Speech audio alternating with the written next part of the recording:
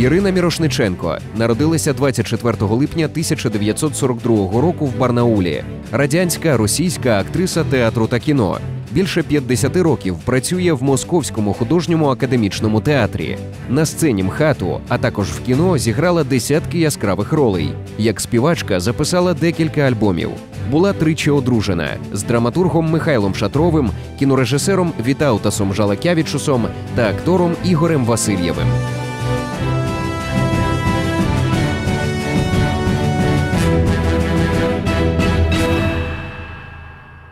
Вы играли у Тарковского в Андрея Рублеве. Да. Это сильная школа была соприкоснуться с Тарковским? Да, это было незабываемо, не скажу вам честно. Вообще, должна вам сказать, что, конечно, встреча с интересными людьми, она оставляет след. То ли это интервью с интересным человеком, то ли это м- м- режиссер, который, который просто расскажет себе, как он видит и что он хочет. То ли это, э, я не знаю, танцор или балетмейстер, который мечтает. Угу. Вот сейчас мы отсматриваем, да, э, всю историю с Филиным, страшную.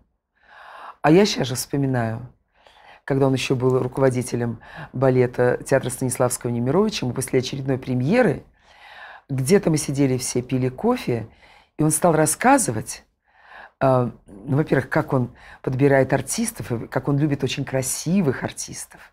И вообще считает, что красота на сцене – это одно из э, э, главенствующих, по крайней мере, в балете, эстетических э, составляющих. Что это необходимо для того, чтобы ты воспринимал балет и вообще понятие искусства через красоту. И дальше через красоту танца, и через сложность танца.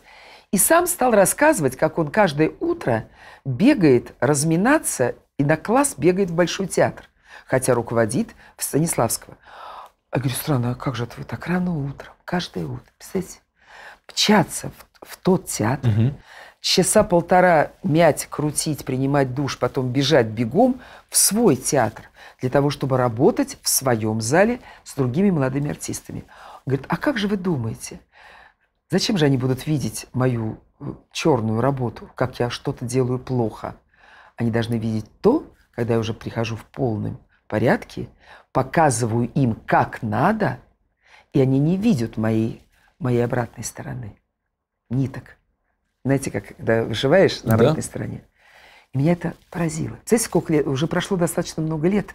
Я мало с ним общалась, но вот это я запомнила, подумала, как интересно. А это талантливый человек, который так строит свои взаимоотношения с коллективом для того, чтобы и самому не ударить грязь лицом, и, и, и в то же время быть в порядке. Ну, Тарковский это замечательно. Я знаю, что вас однажды встретил Кончаловский, Андрон, и сказал, вы моего брата в фильме назвали идиот, правильно сделали. Да, это такая была шутка. Но это так, это, когда я сейчас отсматриваю этот эпизод, там даже непонятно, что я это говорю. Я как-то проболтала. Вообще была плохая речь. Да я шагаю по Москве, да? Да. Еще вот была студентка первого курса, поэтому Ливанов меня учил. Что ты там бурчишь под себя? Это надо говорить Да. там. А, московский. Академический театр, между Да. прочим. А Он показывал одна из первых ролей, которая у меня была самая, пожалуй, любимая, удачная. Это Маша в «Чайке», где начинается первая реплика. «От чего вы всегда ходите в черном?» «Это траур по моей жизни», отвечает Маша. Так вот, мы только начинаем репетиции 10.30 утра. Ну, начали. Первая реплика. Коля Алексеев, Царство Небесное, говорил, от чего вы всегда ходите в черном? Это траур по моей жизни. Стоп, зал. Ирина, ну что это такое? Эти ручки. И показывает глаза вот такие слезы. Это траур по моей жизни. Я несчастна. И пошла. Я думала, я никогда так не скажу. Я никогда так не сумею. Я не могу. Я столько билась с этой первой репликой, чтобы за этим было... Класс, Да, знаете, класс. а он показывал это так И чуть-чуть ерничая, что эта девушка молодая говорит, что она несчастна, поэтому она так, потому что она влюблена, и побежал.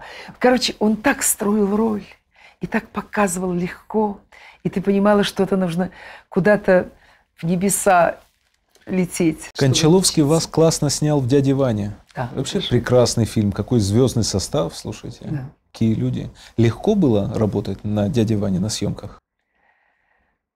Трудно, но счастливо. Кончаловский, Тарковский, совершенно разные режиссеры, и Разные. Ефремов. Э, Как, как между ними крутиться Не надо было крутиться, надо было просто Выполнять. как губка слушать и выполнять? и выполнять. Знаете, одно помогало другому. Я думаю, что Кончаловский не зря все-таки меня э, взял, наверное, потому что у меня уже была школа этого театра. Я уже что-то получила от них, я уже что-то умела. Другое дело, что ему надо было, может быть, э, э, убрать какую-либо театральность вообще Мгм. с меня, чтобы было кино. Но у меня ее было достаточно мало, потому что я сразу снималась в кино и понимала, что одно дело работать на камеру, а другое дело на 1400 э, сидящих в зрительном зале мест, людей. И этому меня учили старики, как работать на зал. Мгм. Это бесценная школа, которой сегодня, ну, кому-то могу что-то подсказать я. Кто-то пытается сам постигать это, э, но На тем не ощупь. менее, м, да, опытом, знаете, Да. проб и ошибок. Да? Потому что когда говорят половины не слышно, что там молодой артист э, бормочет, значит, он пару раз это послушает, но потом подумает, как же сейчас, ему сейчас подзвучки же у всех. Микрофоны и тут, и там. А раньше же не было. Даже представить себе это нельзя было. Вы сыграли в кино не так мало, но и не так много, на мой взгляд. Э, Вот лично мне очень нравятся ваши роли в фильме «Вам и не снилось» и в Спасибо. «Зимней вишне». Очень органично, очень точно. Ни одной лишней краски, ни одного лишнего слова. А вам какие ваши роли в кино нравятся? Ну, наверное, конечно, дядя Ваня, потому что, прежде всего, потому что это, наверное, Чехов, потому что это Кончаловский, потому что это роль Ансамбль такой. И ансамбль сказочный, и вообще это фильм на века. Он вот как бы так навсегда, это уже энциклопедия, я бы сказала, такая. Хотя суперсовременная по тем временам. Он очень любил Бергмана, и поэтому Мгм. какие-то настроения от него были с этим перепадом черно-белого и цвета. Он играл с этим. Это было для того времени все-таки, 71 год, это новшество. Мне очень нравится, хотя этот фильм очень мало показывает э, это сладкое слово «свобода». Он для меня был Мгм, очень да. важный. Да. Жалакевича все-таки первый, это, м, первый приз на Московском кинофестивале. Это все-таки главная роль. Это очень интересный режиссер Витаута Джалакевич, с которой, э, который приехал в Москву для того, чтобы э, вот уж действительно и покорить и ее, и весь мир, Ну, что он и и сделал. литовское кино сильное Э, было. Очень сильное. Почерк, Очень свой сильное, стиль. Да, да. У него своя манера. Э, абсолютно своя школа. Э, Он, пожалуй, один из первых мне произнес фантастическую фразу, как режиссер. Вот Смотри, как американцы работают в кино. А что? А, Улыбка – это одна часть лица, глаза стальные – вторая, вид – третья, а мысли и чувства – четвертая. О, это сложно. Вот это первое, что он мне сказал. Вот ты должна быть такая. И ты стоишь и не знаешь, как это сделать. Вот должно быть такое. Вот Мария стоит за стойкой. Улыбка, а? Глаза колючие одни, мысли другие и статус третий. Этому в школе студии МХАТ не учили. Нет, это его манера. И это то, что я потом стала пробовать э, перед камерой. Какое-то время мне это получалось. Потом я от этого отошла. А потом уже пришла к, э, к мысли, что не надо ничего мудрить, надо быть естественной такой, какая ты есть, перед камерой, перед людьми и перед жизнью. Слушайте, я знаю, что Тарковский сказал, что у нее иконописное лицо. Да, он Говоря так о вас. сказал, причем рядом здесь. Вы знаете, это произошло вот рядом с этим отелем. Вот это роскошное кафе «Националь». Мгм. которая пришла попить кофе днем в перерыве с 12 до часу в школе студии МХАТ. Пришла попить кофе с пирожным. И он за мной наблюдал. Я думала, что он на меня смотрит. Никого народу. Я сижу за столиком, он там и глаз меня не сводит. Я сижу. такая Вы знали, вся. кто это? Нет, еще кольцо у меня обручальное. Я вышла замуж. Я пью и показываю, дескать, что меня смотрите, извините, что вы смотрите меня. Вот так это я гордо посидела. Вот потом э, э ушла. Еще и кольцо показали. Да, да? кольцо показала. Ясно дело, что, дескать, спокойно, не надо. Вот на следующий утро звонок с киностудии Мосфильм. Вас приглашает на кинопробу, то есть на фотопробу, на переговоры режиссер Тарковский. Я приехала. Стоит он в кабинете, уже у стола у окна, в джинсах, все такое же. Вы меня узнали? Говорю, конечно. Вы вчера на меня смотрели. И кольцо. Нет, тут уже нет. Я сразу все поняла. Потом, знаете, э, что бы ни говорили, все-таки то время, в которое я начинала и, и жила, и, в общем, всю свою сознательную э, жизнь, достаточно чистые и красивые отношения были между людьми. Это культивировалось. И это считалось достоинством. И нормой и нормой, и воспитанием. Поэтому тут уже такой пошлости не было. Я понимала, что, ну, поглядывает, нормально, сидит молча, смотрит. Но уж думаю, что он навязчиво так меня смотрит. А я потом, он говорит, я смотрел, потому что я все время приглядывался. Я хотел увидеть, потому что все-таки тоже в современном виде, знаете, джинсы, рубашка, э, подкрашенные глаза. Увидеть Марию Магдалину надо увидеть. Лишь потом умыли, надели парик, на прямой пробор, намазали черные синяки, обузили лицо и сделали совершенно другое выражение угу. лица. Вы знаете, в советском кино было немало красивых актрис, э, но вы э, были одной из наиболее красивых актрис, причем красивых не советской красотой. У вас была всегда такая западная красота. Это, это не советская женщина была явно. Когда вы впервые поняли, что красиво? Вы помните вот этот момент, ощущение? Вы знаете, никогда. Я очень легко к этому. Когда я шучу, э, что сейчас я вот приведу себя в порядок и выйду красивой, это предполагается не то, что вроде как вот э, я некрасивой, потом стала красивой. Просто приведу себя в порядок. Это все. У меня никогда не было мании величия и осознания себя со стороны. Мне это всегда очень помогало жить. И помогает по сегодняшний день. Я об этом просто не думаю. Я знаю, когда мужчины на вас смотрели, у них текли слюни, а женщины не считали... знаю, я как-то не особо не обращал Женщины внимания. считали вас идеалом. Скажите, да мужики что? к ногам падали? Те, которые хотела, да. А те, которые я не хотела, так и нет. Или падали, но вы не замечали? Ну, я этого нет, они не, не падали, но я не давала повода им падать. Меня всегда, знаете, бесили несчастные эти жены, которые меня смотрели, знаете, такими выпущенными глазами. Я представляю, да. Да, вот, вроде как будто так. я так спокойно, не, мне не надо ничего, спокойно. Я тихо уходила. Подождите, успокойтесь, не надо. Вот не нервничайте так. Потому что, знаете, э, убеждена, что встречи происходят свыше, они неизвестно, как происходят, и неизвестно по каким законам. Законы, понятно, что одни – вероятно, каждый человек ищет какую-то ниточку и, и, и связь, и надежду. Причем в разные периоды жизни это бывают разные необходимости. В самом начале, наверное, э, когда я только выходила замуж, это произошло как-то очень естественно.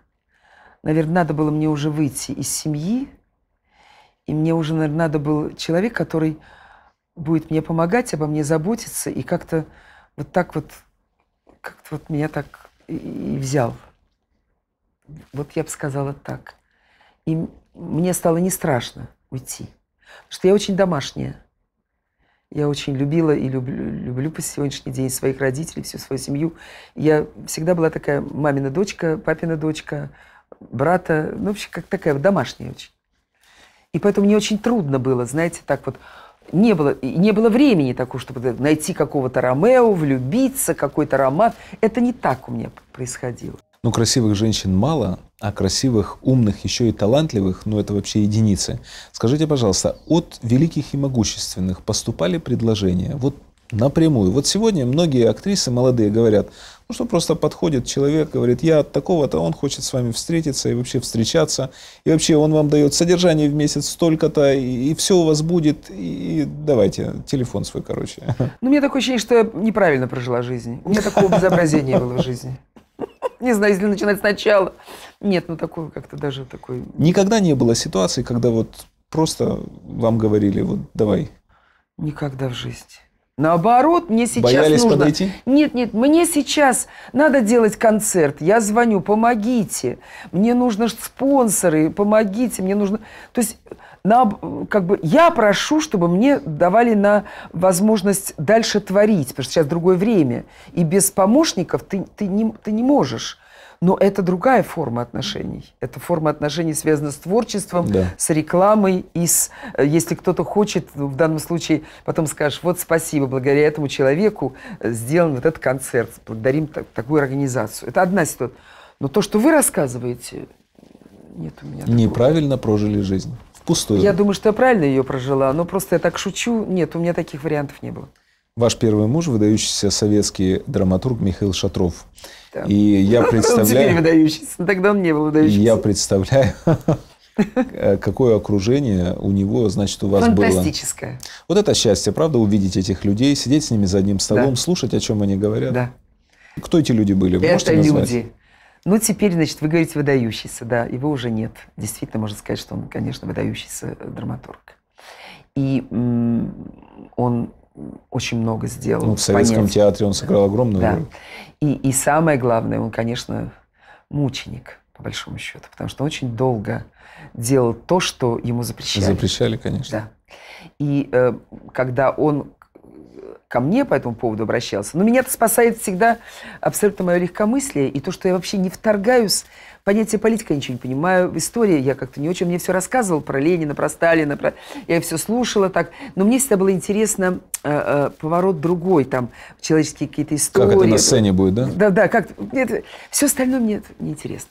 И я бежала, потому что я параллельно снимала, сработала, э, простите, зарабатывала. И, и, и, э, а он в это время э, не мог особенно зарабатывать, потому что не ставились его пьесы. Вы больше его зарабатывали? Конечно. Да. Вот. И более того, мы воспитывали его дочку. Потому что он сразу сказал, что я должен платить элементы из зарплаты девочки. То есть он мне сразу сказал, говорю, конечно. Я ее видел один раз. Чудная девочка. А сейчас я ее обожаю. Это совершенно замечательная Наташа Шатрова, умница, прелестная. Девочка, Кто редактор. приходил к вам домой? Какие люди к вам приходили? Значит, э, э, Арбузов Алексей Николаевич, великий драматург. Да? Штейн. Мы были в доме у Розова. Постоянно к нам приходил Ваксберг. Он был сначала э, юрист, Да, адвокат, да. потом он стал Литературная газета. Все, в соседнем подъезде. Мгм. Это они ве- вечно, значит, мы тут все столовались у меня, значит, сидели, болтали, они обсуждали, значит, постоянно Леву Устинов, который писал свои детские сказки, которые я так толком даже ни одну и не прочитала, только была на премьере. Они без конца с Левкой, они были не разлей вода, это вечно, они уходили в кабинет с утра до вечера, они там что-то писали, все. Я утром вскакивала, еда, завтрак, обед, Сами. А как же? Сначала Никаких сам, домработниц? Потом были домработницы. Ему полагалась домработница. Писателям полагалась домработница даже. Да, от Литфонда давали. Государство Она оплачивало? Да, государство оплатило. Более того, она жила у нас. Даже спала на кушеточке в кухне. Была очень большая кухня. Лизочка такая чудная. Но готовили мы с ней вместе, ходили на рынок. Я все это вместе. Я хозяйка замечательная. Все готовила. На, наготовим, напечем. Я убегаю, прибегаю поздно вечером.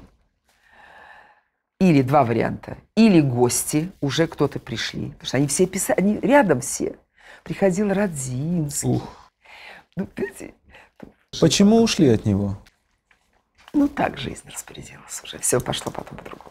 Не жалели никогда об этом? Вы знаете, жалела много раз.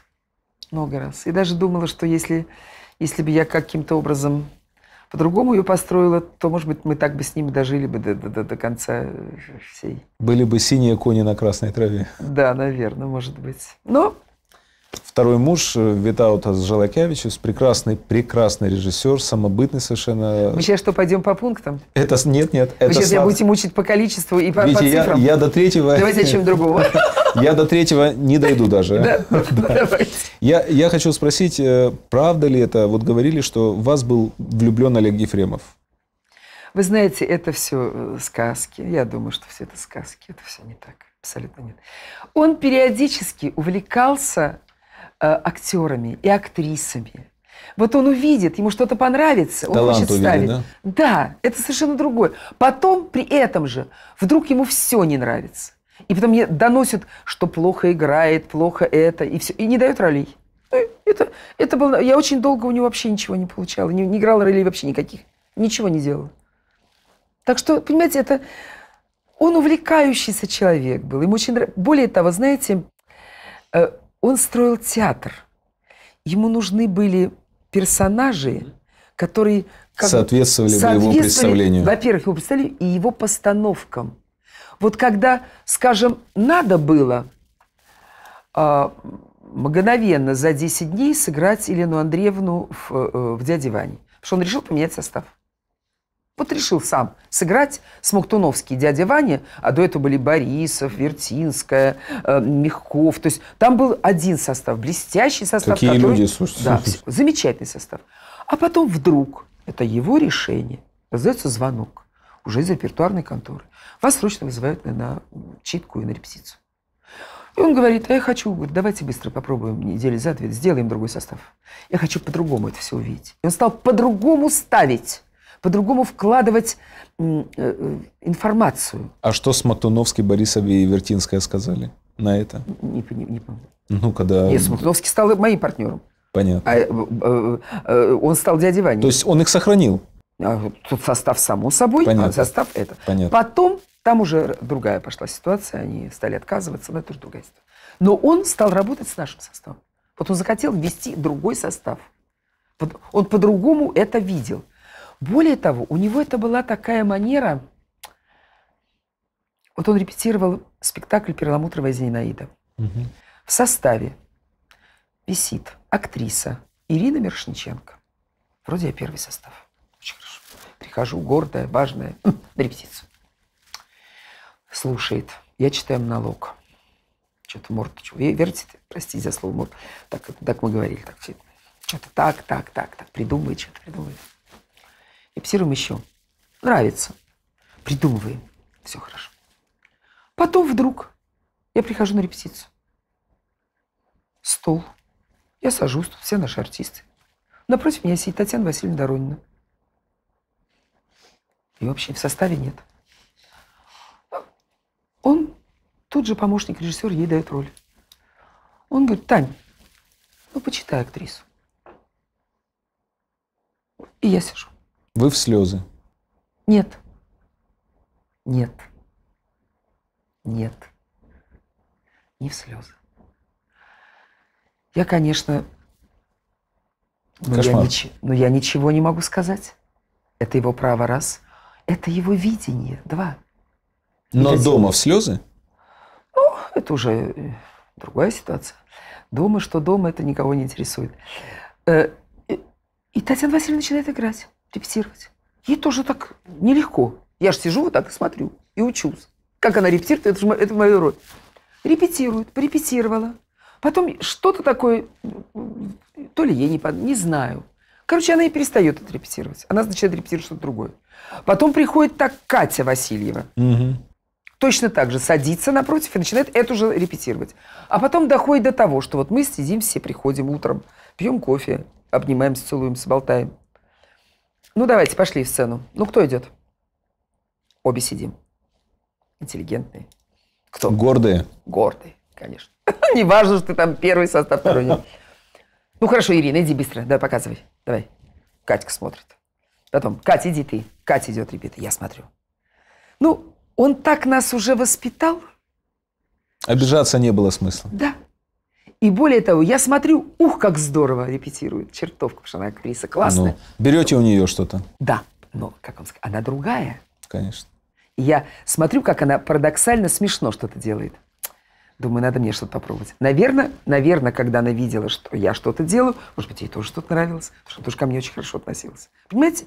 И он нас вот так вот сводил. То есть он считал, что он даже какую-то формулировку, я даже не знаю такое, вы, вы более умный, такое есть какое-то слово «сибаритка». Есть Мгм. такое слово, что Мгм. такое?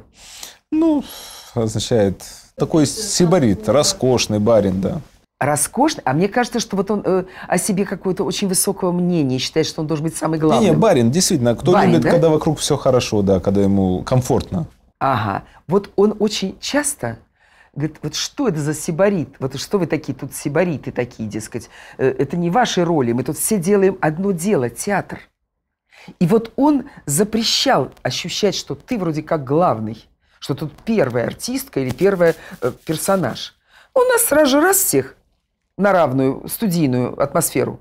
Народный ты, ненародный, знаменитый, не знаменитый. Иди работай. Там все народные, все Да. знаменитые. Нет, потом все народные, все знаменитые. И вот, вот так вот мы шли работали.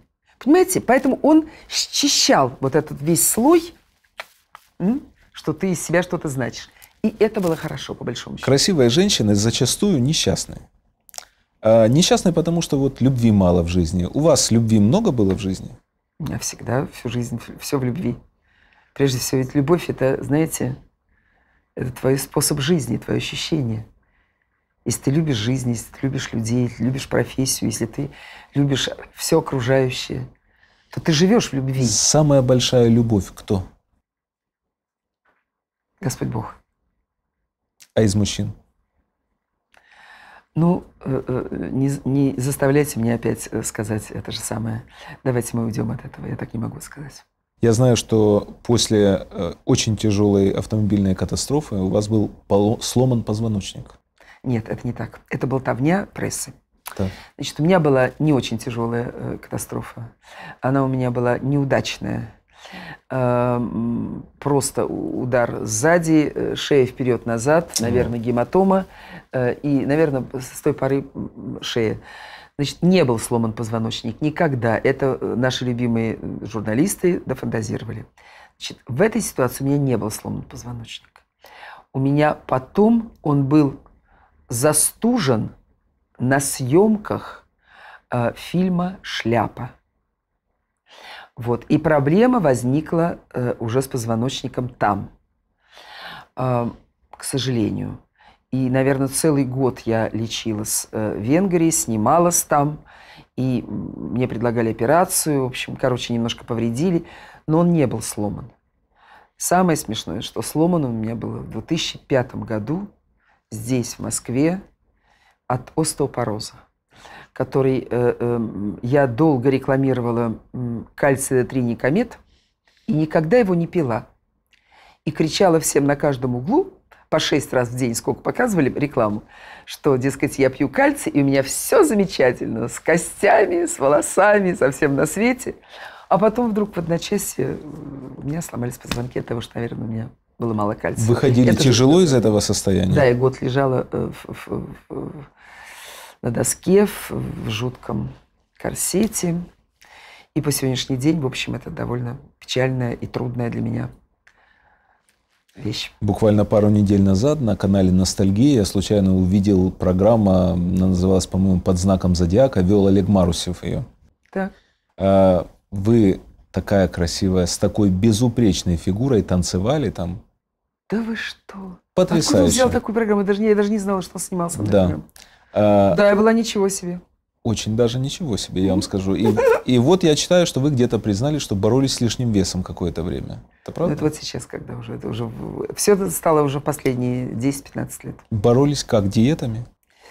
Ну, вы знаете, это связано больше у меня с, э, со здоровьем, поэтому это не то, что я, знаете, объедаюсь, э, э, ем сало, пью горилку. Вот это, это не те варианты. Я всю жизнь за собой следила, всегда. Но раньше не было этой проблемы, потому что я была здорова. А когда я заболела, к сожалению, она появилась, эта проблема. И довольно трудно мне было из нее выходить. И сейчас трудно. Я сейчас продолжаю этим заниматься. Людмила Марковна Гурченко говорила мне, актриса должна так жить. Появилась морщинка под глазами – резать.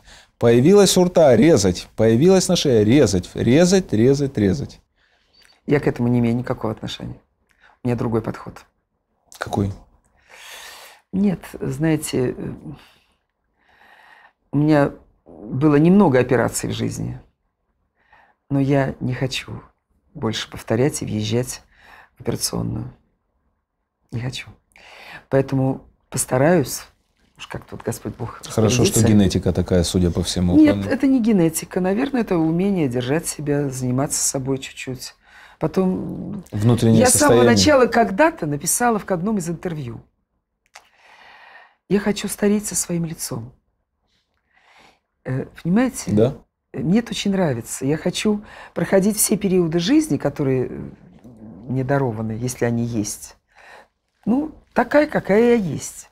Другое дело, что женщина в любом возрасте должна следить за собой и по возможности ну, быть в какой-то достаточно приличной форме, насколько она может это. Но ничего искусственного и другого для себя, по крайней мере, я не хочу и не вижу, и не приемлю.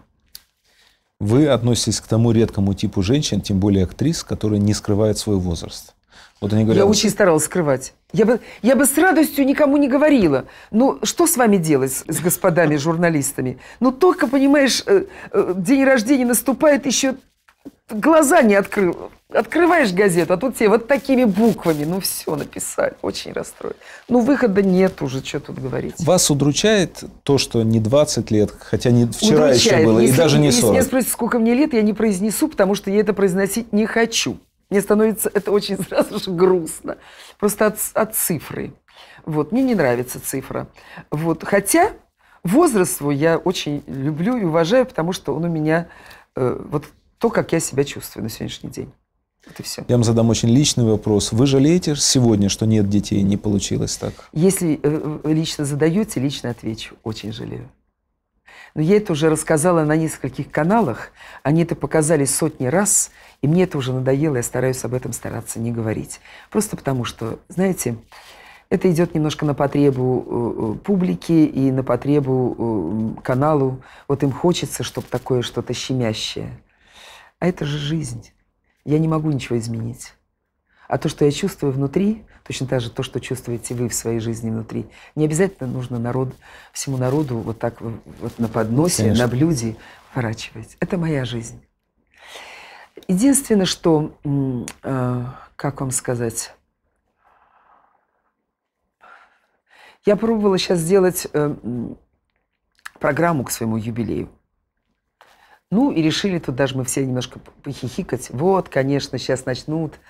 Вот у нас тут нет детей, сейчас мы будем плакать по этому поводу. А давайте-ка сейчас все дети со всех моих фильмов и со всех моих спектаклей выйдут на сцену. И как вышла толпа красавцев. Вот. э, я была безмерно этому рада, этому ходу режиссерскому и, по большому счету, человеческому. Потому что, наверное, в каждую работу я вкладываю часть своей жизни, часть своей души. Наверное, все-таки меня будут больше судить эм, люди, которые захотят что-либо обо мне узнать, когда нас уже с вами не будет, э, по ролям, которые были Конечно. сыграны.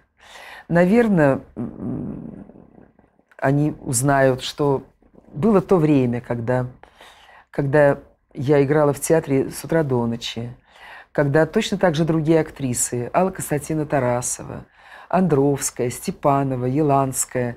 Это их счастье, что они эм, роди- э, смогли э, родить и воспитать детей, когда были еще совсем молодыми. А потом они не могли себе такую роскошь позволить. Работа, работа, работа. Да. Потому что в нашем театре невозможно было в то время вот так вот остановить процесс и сказать, я хочу семью, ребенка, ну иди домой. Мгм. И все. И все. Или ты работаешь и выкладываешь, и театр это твоя жизнь, твоя миссия. Там. Это было то время. Это сейчас Табаков э, в нашем театре поощряет каждого родившегося ребенка и дает прибавку к зарплате. И говорит, кое счастье, у нас появился в нашем коллективе еще один ребенок. И создаются все условия для того, чтобы актриса рожала. Когда я была в, в- в этом театре, такой, таких условий не то, что не было, быть не могло. Человек уходил, и все, он терял роль сразу же, и на его место брали другую актрису. Все. Ужасно. Да, ужасно. Но это так. Вы понимали тогда, что идете на жертвы? Нет, мне казалось, что еще все впереди. Мне всегда кажется, что все впереди. Это моя жуткая ошибка. А может, все еще впереди? Вы прелестный, наивный мужчина. Мне очень нравится. Спасибо. Я, опять-таки, э, боюсь, что это домыслы журналистов, но я прочитал э, в одном из ваших интервью, якобы вы иногда плачете от одиночества. Никогда в жизни. Это уже... Ну это, это, Вы сегодня... Вот, вот представьте себе, вот кто это может написать? Значит, это должна стоять камера у меня в квартире и показать, как я в ночной рубашке, в бегудях, в халате, в тапочках. В подушку. В- не, ну, ну, может быть, в углу. Или так в угол такой специальный, знаете, такой уголок такой, значит, для слез. Ну, Вы похоже, что сегодня, такую вы сегодня не одиноки? я никогда не одинока. И всегда одинока. Какой Вот ответ это, пожалуй, мой самый большой ответ. Вы активно ведете блог в живом журнале. Да. Поразительно современная история. Вам интересно это? Очень. Более того, очень хочу собрать всех блогеров. Сейчас еще место, где надо всем собраться. Их уже там так много. Во-первых, я их никогда в глаза не видела. Кстати, соберутся народ. А, Интересно. Конечно, э, это данность сегодняшнего времени, к которому я еще абсолютно была не готова. По большому счету, я еще даже не очень это понимаю, потому что вот когда стоят камеры, провода и ток, это я понимаю. Мгм.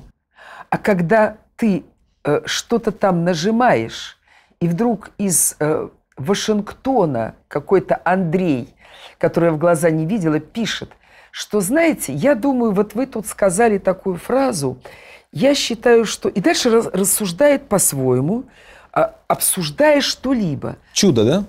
Это чудо. Или какая-то из девушка, которую глаза не видела, которая видела меня в какой-то роли в Амхате, живет в Нидерландах, рассказывает, как она сейчас шла по улице, почитала мои впечатления, хочет посмотреть балет, а сейчас вообще придет посмотрит по интернету мой фильм. Вот это, знаете, так крыша немножко едет. Как это вообще все возможно? Не, не представляю. Но это безмерно интересно. Будучи талантливой во всем, вы написали мемуары, Я воспоминания. написала книжку. Нет, нет, нет. Я написала книжку а, с очень хорошим названием. Расскажу. Да. Я там рассказываю, как я вам сейчас рассказываю. Точно так же рассказываю. Только глаз красивых нет. Ну, там есть на фотографии. Вот, вот так. Э, Более того, родилась эта книга и идея после одного из таких же интервью, которые я давала, я не знаю, какому-то другому каналу или другому журналисту. У меня есть помощница Надя, которая сидит вот там за углом. И когда она сказала, ну, сказочница вы наша, Ирина Петровна, пора писать книжку, сказала она мне. Ну, раз сказала, буду писать. Ну, после этого пришла в одно из издательств и сказала, вот мне так сказала Надя, что пора уже, хватит все время в интервью рассказывать, пора уже на бумагу. Он говорит, давайте. А из чего она будет состоять? Я говорю, «Да из всего, что я буду рассказывать. А как будет называться? Я еще не знаю. Там сижу. Может быть, расскажу? О, написали. И послали. Блог называется «Расскажу». Концерт называется «Расскажу». Вы прекрасно поете. В довершение ко всему. Выпустили несколько альбомов. Я э, слушал целый ряд ваших песен. Я помню, я когда-то услышал вас на юбилее у Лещенко на 50-летие еще. Это вы тогда еще видели? Первый Да, раз, а как да, жаль. Да, ах, как жаль. ай, да, как здорово. да. Ай, как здорово, это правда. Вот, а первое впечатление, оно было очень яркое. Это вы меня с той поры знаете? Я вас знаю гораздо раньше. Что? Это я просто хорошо сохранился. Я- Это действительно хорошо сохранилось. Я хочу предложить в завершение нашей программы вам совершенно экспромт. Мы с вами об этом не договаривались. Может быть, хоть пару строчек акапельно для наших зрителей. Что-нибудь из того, что вам нравится. Значит, всегда, э, мне всегда интересно самое новое. Значит, я только что, когда делала юбилейный концерт, э, занимаясь э, вокалом с, совершенно замечательной женщиной, она бы не принесла латиноамериканскую песню. И на ней мы стали распеваться. Она стала мне ее э, давать какие-то там слова. Курасон, курасон. Говорю, я не знаю испанского языка, это будет плохо. А ее кто-нибудь пел? Да, говорит, ее пели все. Открываем интернет. Ее спела в каком-то 50-м году Далида по-французски. Тут же снимаю, делаю новую аранжировку и думаю, а почему я должна ее петь? Потом думаю, понятно почему. Латиноамериканская песня. Фильм это, это сладкое слово свобода. Я играю Марию, чилийку, латиноамериканку. Наверняка это история ее любви. Она может на экране быть Мария, а у микрофона Ирина. Mon histoire, c'est l'histoire d'un amour. Ma complainte, c'est le plainte de deux cœurs. Un roman comme tant d'autres qui pourrait être le vôtre, j'en dis si bien d'ailleurs.